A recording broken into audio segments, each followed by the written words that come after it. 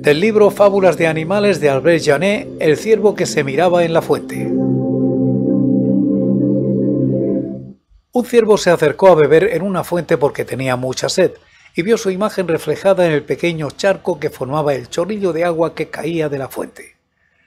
La contemplación de su poderosa cornamenta, que formaba un conjunto de magníficas ramificaciones, le causó una gran admiración y se sintió muy orgulloso. En cambio, se avergonzó de sus patas que le parecieron delgadas, raquíticas y feas.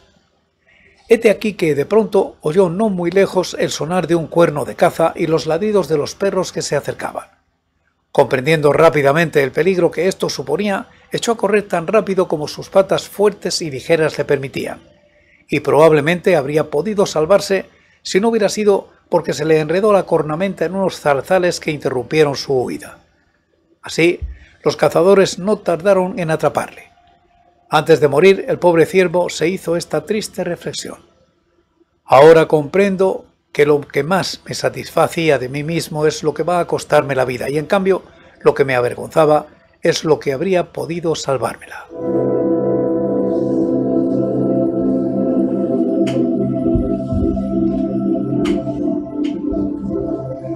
Y tú ya sabes, toma siempre de estos contenidos lo que creas necesario, conveniente u oportuno.